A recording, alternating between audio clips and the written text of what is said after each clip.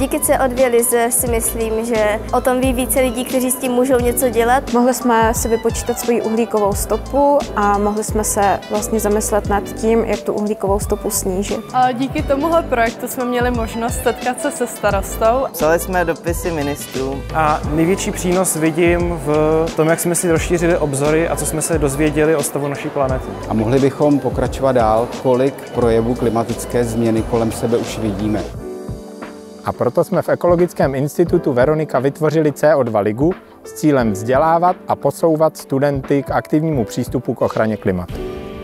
I když se nám někdy může zdát, že jsme jako studenti a studentky strašně slabí nebo malí, tak společně toho dokážeme změnit strašně moc. A to nejenom na naší škole, ale potom i v celém světě.